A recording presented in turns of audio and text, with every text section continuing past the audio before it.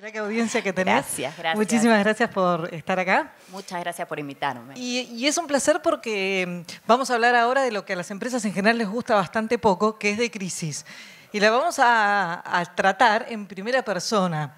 Y es una crisis que seguramente casi todos los que están acá escucharon hablar, la crisis de Volkswagen, de las emisiones de gases, pero es la primera vez que alguien de Volkswagen, la empresa propia, cuenta cómo la vivió y cómo la atravesó. De lo, poco que, sé, lo que me queda claro es que es la crisis sin duda de un- una empresa líder cuyo liderazgo eventualmente estuvo en riesgo, pero se podría decir que esa misma posición de liderazgo tal vez fue la que le permitió salir de la crisis y encima reforzar esa situación de liderazgo. Pero en realidad lo, lo mejor va a ser que, me parece, Angie, vos cuentes un poquito eh, cómo se generó, cómo se gestó y de qué se trató. Eh, bueno, la crisis surgió en enero, en, perdón, en septiembre del 2015, cuando salió a la luz que Volkswagen había instalado un software en vehículos diésel para eh, alterar los resultados técnicos de- del nivel de emisiones. Eran vehículos vendidos entre 2009 y 2015, afectaba 11 millones eh, de vehículos diésel y surgió como una, por una denuncia de la EPA, que es la, Agencia Medioambiental de, Protección Medioambiental de Estados Unidos. Eh, surgió en un contexto especial también, porque era un contexto en que Volkswagen estaba peleando el liderazgo mundial. Eh, tenía, había tenido mucho éxito en, en los mercados asiáticos, con un liderazgo en China, muy buen desempeño en Europa y Latinoamérica, y había puesto el foco en Estados Unidos con eh, los vehículos eh, diésel. No, es menor lo que decís porque retomo un poco lo que acabamos de ver en el panel anterior y los 25 puntos de, que componen la reputación me quedaron marcados y no me, no me quiero imaginar cómo habrás estado midiendo cada uno de esos 25 puntos y también el piso del 13%, ese que te marca que, que ya caíste debajo, me quedó muy, patente.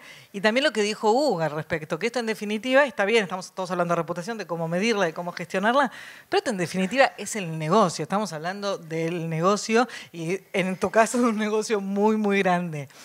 Eh, la pregunta es, primero, ¿cuáles fueron las consecuencias en términos de negocios? Y segundo, ¿cuál fue aquel componente? Yo mencionaba la, la posición de liderazgo tal vez como uno de esos componentes, pero ¿cuál creéis vos que fue exactamente el componente ese clave que los hizo salir de la crisis en el marco de, me imagino, un montón de situaciones, gestiones, de reacciones, de respuestas, pero eso que decís, sin esto yo no sé si hubiéramos salido tan bien. Eh, bueno, las, conse- las consecuencias fueron eh, una crisis de confianza y reputacional muy grande. Eh, creo que los componentes que nos ayudaron a salir fueron varios. El equipo humano, la marca, pero fundamentalmente el producto. Volkswagen era referente, es uno de los referentes de, la industria automotriz, con liderazgo en, muchos países, con productos íconos como el Golf, como el Beetle, eh, y esa, esa crisis de confianza que se dio nunca puso en duda el producto. El producto siempre salió indemne. Desde el momento en que ocurrió la crisis, eh, se aclaró que los vehículos que tenían puesto el software o que había sido instalado el software eran productos seguros y aptos eh, para funcionar. Por eso fue que, no obstante esa crisis tan fuerte de confianza que, vivimos y reputacional, eh, a los años siguientes Volkswagen alcanzó el liderazgo eh, mundial y en el caso de la Argentina somos líderes por 15 años consecutivos. Lo que no implica que eso nos llevó a una transformación enorme de la compañía, una transformación de los valores, de la estrategia y de la cultura. Y también del negocio. Y del me- negocio, me totalmente. Y este es un punto interesante porque toda la industria automotriz y muchísimas otras industrias eh, están necesariamente desde hace 10 años o más atravesando procesos permanentes de reestructuraciones, nuevos abordajes, nuevas miradas. Digo la industria del automotismo puntualmente por toda la cuestión contaminante, los híbridos, el auto eléctrico, etcétera. Y en algún punto eh, hay crisis que funcionan como disparadores y hay otras empresas que tal vez les cuesta más arrancar. ¿Vos sentís que sin esta crisis la reestructuración o la reconversión no hubiera, no hubiera sido igual? Eh, ojalá no hubiera ocurrido primero, ¿no? Pero creo que mirando el lado positivo eh, nos ayudó a redefinirnos. En ese momento nuestro eslogan era el Das Auto, que significa el auto. Eh, hoy es muy moving people forward, o sea, el foco pasó del producto a las eh, personas. Tomamos conciencia de cómo se requería, cómo la sociedad estaba requiriendo empresas eh, con un compromiso social y que nosotros se traduce en una movilidad sustentable. Em, hicimos mucho foco en la electrificación, cambiamos el negocio, lo estamos cambiando hacia la electrificación, se estableció un plan de inversiones de 30 mil millones de euros para todo el grupo Volkswagen eh, en, eléctricos y 9 mil millones para la marca Volkswagen específicamente. El objetivo más que nada es llegar a cero eh, emisiones de CO2 en todo el parque automovilístico. El plan de inversiones es para los próximos cuatro años con un fuerte soporte al Acuerdo de París para frenar el cambio climático y todo eso basado en la transformación total eh, de la compañía. O sea, lo que queremos es que como en su momento llevamos el auto a las personas, el Volkswagen, el auto del pueblo, hoy queremos eh, producir el auto eléctrico a escala y se va a hacer realidad en el 2020 con la familia del ID y, poder acercarnos más a la gente eh, con una movilidad sustentable, no solamente eléctrico, sino también conectividad, auto autónomo, pero con el foco en eléctrico.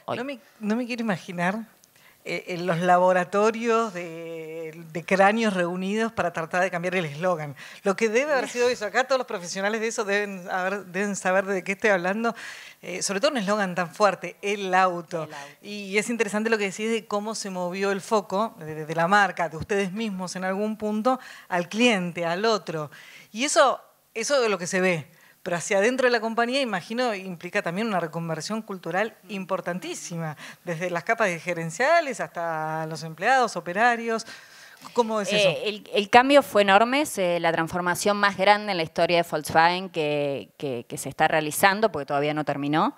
Eh, empezó reconociendo que nos habíamos equivocado y que sobre eso debíamos trabajar y debíamos establecer una nueva estrategia, buscar una empresa más transparente, más, eh, más social, más humana, más responsable, más saludable. El, cambio recién empieza, como decimos, eh, es un, un proceso transformador que que va a llevar su tiempo, son más de 12 marcas, todo el grupo, con presencia en 153 países, con lo cual el cambio no es algo que sucede de un día eh, a otro. Pero comenzó, nosotros tenemos un monitor dentro de la compañía que, surge como consecuencia del acuerdo que se celebró con el Departamento de Justicia de Estados Unidos, y el monitor evalúa cada uno de los cambios que hacemos y certifica que la transformación se está dando. Hasta tanto no tengamos la certificación oficial, no podemos decir eh, que terminó y dentro de, toda esta transformación me, parece importante destacar eh, todo un nuevo concepto de regionalización que hay. Antes Volkswagen, tanto lo que era valores, estrategia, producto, todo era en la casa matriz. Se decidía y de la casa matriz bajaba a las regiones y las regiones o las subsidiarias lo aplicaban tal cual estaba, tal cual se decidía en Alemania. somos iguales que los alemanes. Claro, era como que era todo copy-paste. Eh, hoy se establece, si bien se establece un, valores, estrategias en relación a producto, pero se baja las regiones, se crearon las regiones y se baja las regiones y se adecua al contexto y a la cultura de cada una de las regiones. O sea, tenés productos globales con ADN eh, local. Y dentro de eso se creó el programa Together for Integrity, que es el, programa un poco que, que, que es el paraguas de toda esta transformación y que también se le delineó en Alemania, pero se adecuó en cada subsidiaria al contexto propio de cada subsidiaria. Y ese programa establece las bases, los valores, la estrategia de cómo conducirnos. Sobre ese paraguas se gestiona lo que es la cultura, los recursos humanos, eh, los riesgos, compliance eh, e integridad. Y es la base de cómo debemos movernos. Dijiste los riesgos y en algún momento mencionaste esto de, bueno, lo primero que hicimos fue asumir que estábamos equivocados y asumir que estábamos equivocados probablemente en términos de reputación, eh, probablemente ayude mucho, es una buena estrategia de comunicación, etcétera. Ahora hay dos caras también de la crisis, para no ser ingenuos, eh, que también, vos me lo, comentabas en algún momento, tiene que ver con las demandas después de, algunas no necesariamente justificadas, otras probablemente sí. Eh, hay un aspecto legal y hay un aspecto económico del reconocer nos equivocamos.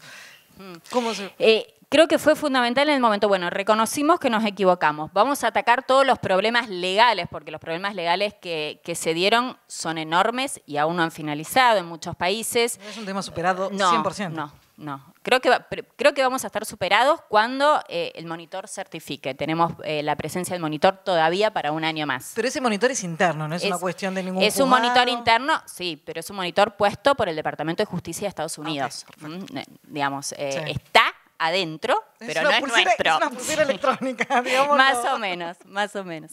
Eh, y entonces nos enfocamos en los temas legales, nos enfocamos en reparar el daño que habíamos acocenado, pero al mismo tiempo teníamos que enfocarnos en el negocio, eh, en que el negocio siguiera funcionando, que el cliente nos siguiera eligiendo y que el cliente siguiera comprando autos para poder sobrellevar todos los otros temas eh, legales y de, y de enmienda de daños que teníamos. Así que eso fue fundamental y fue fundamental que el cliente nos siguiera eligiendo y que podríamos continuar creciendo, tanto en Estados Unidos como en el resto del mundo.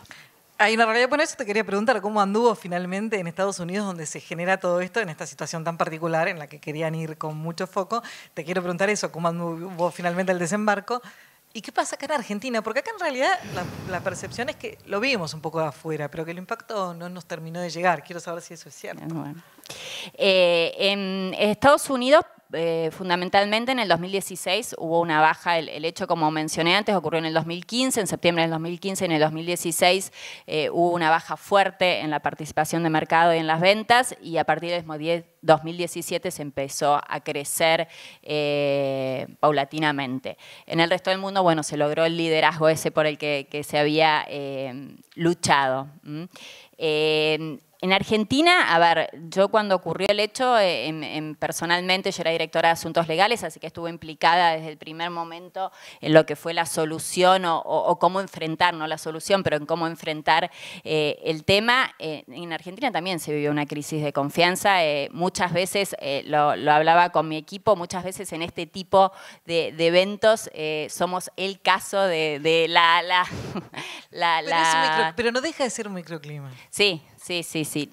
Digamos, en Argentina se, vivió una crisis de confianza tanto interna como tanto externa como internamente. Como empleados de la compañía también para nosotros fue eh, una crisis de confianza hacia la compañía.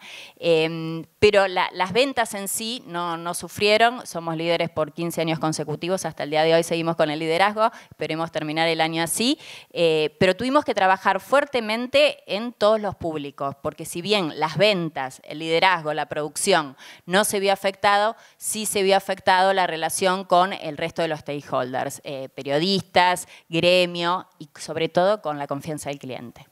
No te voy a preguntar cómo, cómo da el índice hoy, el de Cecilia. Estamos trabajando. Pero está muy bien.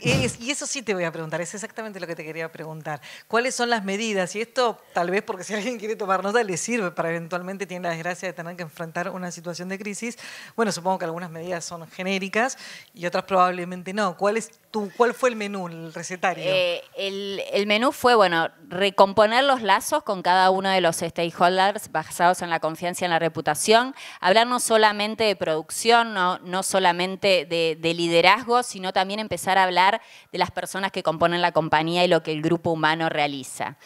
A, su vez salió una nueva estrategia, que es la, estrategia de, la nueva Volkswagen, mostrar que se trata de una empresa mucho más ágil, mucho más eficiente, mucho más humana, un poco lo que mencionaban Pablo, Uga, de, las empresas más humanas, una, empresa mucho más humana, más cercana al cliente, buscando cuáles son las necesidades que tiene el cliente, buscándonos acercar más al cliente. Y dentro de todo ello hubo varios hitos que logramos dentro de Volkswagen Argentina, se logró una inversión en el 2017 y 2018 que fueron anunciadas, se están ejecutando ahora de 800 millones de dólares para nuevos productos tanto en el Centro Industrial Pacheco como Córdoba. Se mostró que el grupo Volkswagen cree en Volkswagen Argentina y cree en la Argentina.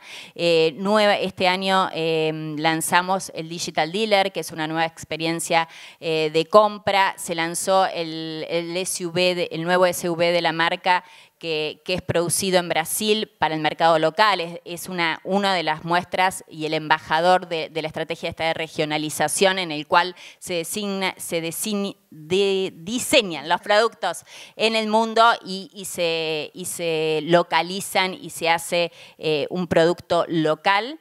Eh, y los 14 millones de cajas que logramos, eh, de cajas de velocidad que logramos de producción en Córdoba. Es decir, todo esto se intentó mostrar eh, lo que es producción, producción nacional, liderazgo en ventas, innovación, eh, y, confianza en el país. Y yo te voy a agregar, corre por mi cuenta, que todo eso en algún punto hubo que hacerlo en un contexto que no acompañó para nada a la industria, ¿no? Pues sobre todo lo que me hablabas, por ejemplo, de la última inversión en las cajas de cambio, bueno, fue en un contexto donde la verdad que había que ser guapo, hay que ser todavía un poquito guapo para invertir en Argentina. Sí, el, el tema de las cajas de cambio para nosotros es fundamental más que nada porque es 100% exportación, entonces es un negocio que, hoy eh, es eh, muy bueno y la verdad que la planta de Córdoba es excelencia eh, en calidad a nivel de todo el grupo Volkswagen, la segunda planta del mundo en calidad. Nos están poniendo en ahí, pero antes de liberar los micrófonos, me gustaría que, que sacaras los tres puntos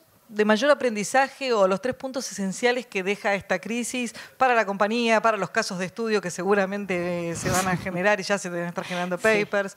Las tres conclusiones básicas que sacas de todo esto. Eh, creo primero que es fundamental que cuando nos equivocamos reconozcamos el error y de ahí empezar a trabajar para mejorar cada día. Transparencia, transparencia para adentro y para afuera eh, de la compañía. Y, un poco también algo que mencionaron en el panel anterior, escuchar el entorno. A veces en las compañías creemos que el mundo es la compañía y, no vemos los que está afuera.